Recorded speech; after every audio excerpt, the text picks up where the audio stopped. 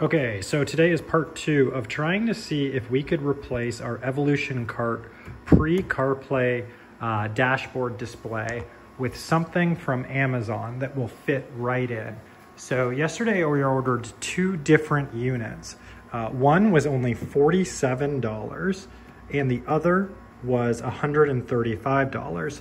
So after I pulled it out of the cart, we measured it and we figured that these nine inch Android Auto touchscreen displays, which are rather inexpensive and readily available on Amazon, looked like the identical size. Many of the pinouts were exactly the same. And what I'm gonna do now is boot them up and show you the difference between a little bit of what was advertised and what we got. Because sometimes with these, what they say in the ad and what you actually end up with as far as specifications can be a little bit different.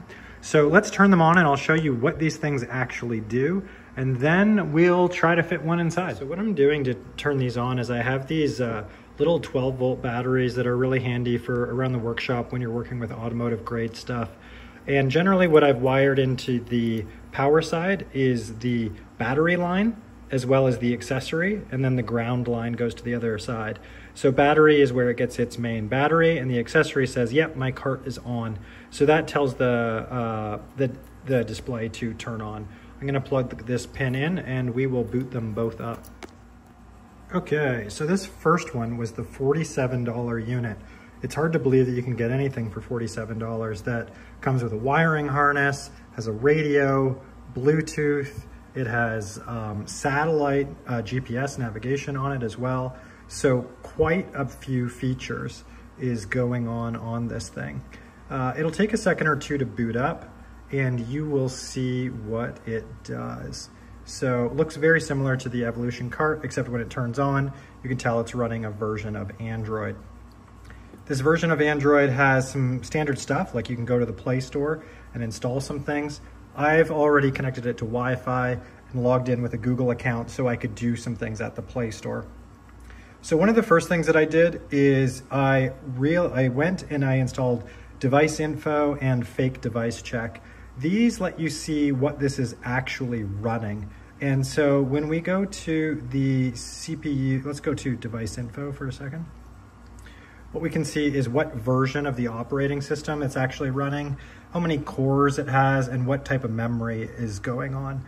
So this will boot up. I'm just gonna go to System.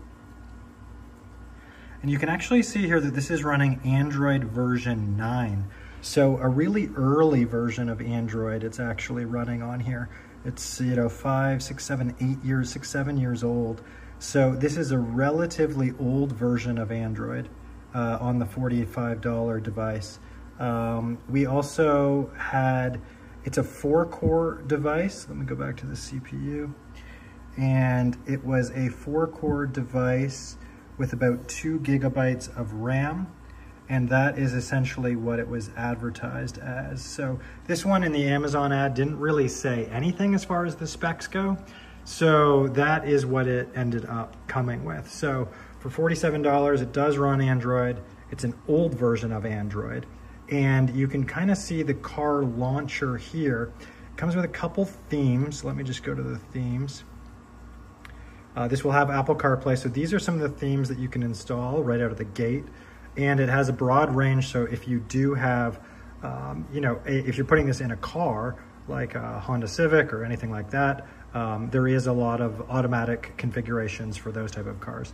There is not anything for the Evolution Golf Cart, so that is something we will have to figure out later.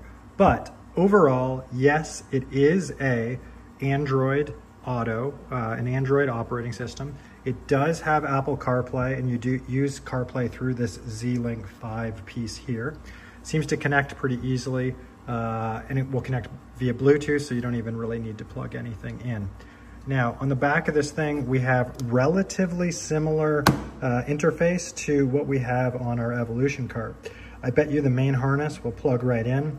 Some of these are the USB, uh, I think the backup camera, and some other things like that. Now, whether or not they will all work kind of like automatically, I'm not fully sure, but I do think this one should bolt pretty much right into our case. So this was the first one for only $47. So what are these units running? They are running this thing called the KSW launcher. And so the KSW launcher is what is emulating uh, kind of an app that is the default app that makes it look like a car. So when you hit home, you're kind of getting these default views here. Um, inside the settings, if we go into settings, there is this factory section where if you put on both of them at six zeros and hit check, you can get into the settings. There is CAN related settings inside here. Sorry, let me just go back to the CAN type settings. And you can check here by running an app update to get the latest CAN bus settings. So CAN bus is a protocol that is in a lot of cars that has different um, messages and information on it. You can read and write to CAN bus that would give you information like climate control and other things like that. So you can see here there's a lot built in for if we wanted to go to a Ford, you know, an F-150. You could choose different Ford F-150 devices, and then this would set those CAN bus specifications.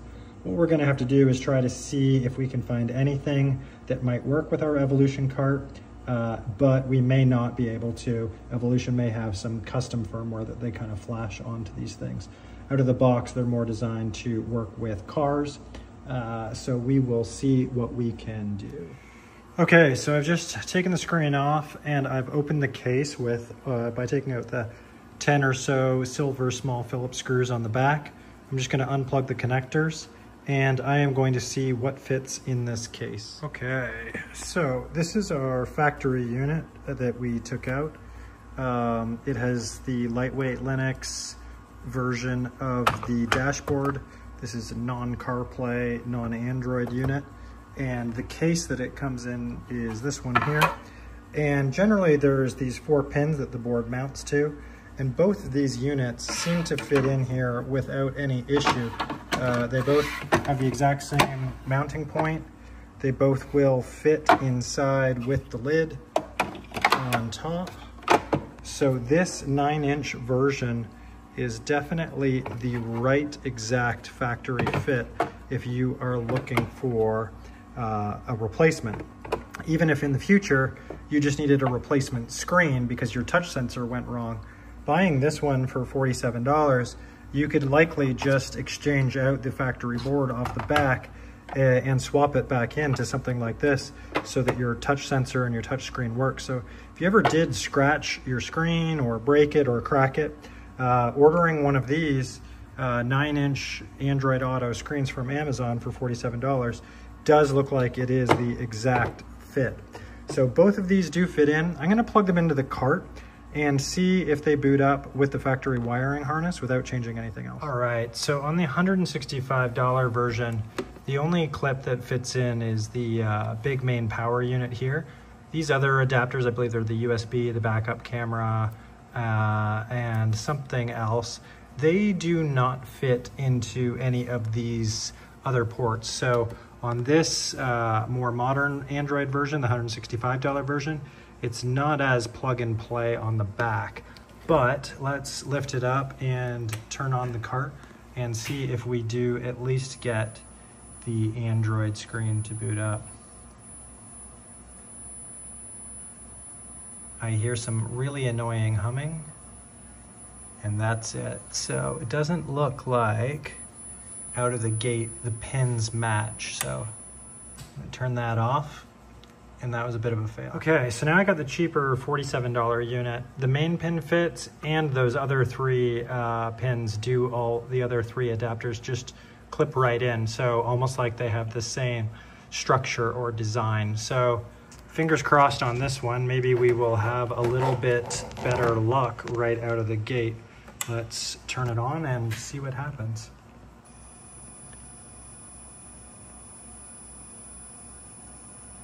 An annoying hum. And just an annoying hum. So similar to the other, no screen power. Um, nothing really. Okay, so I've checked out a few of the differences between the pins on the uh, stock harness versus the pins, uh, expected pins that come on the other one. Generally, I think the only thing that we're missing is the, uh, the Android units are expecting this red wire to be an accessory wire. You can see there beside the ground, uh, which is when the switch is turned on for the car and the bottom one would be the constant battery. In our harness here, it's actually missing. You can see that between the the uh, black wire and the blue wire on the bottom there is just nothing there. So we are missing essentially the accessory trigger to uh, turn it on.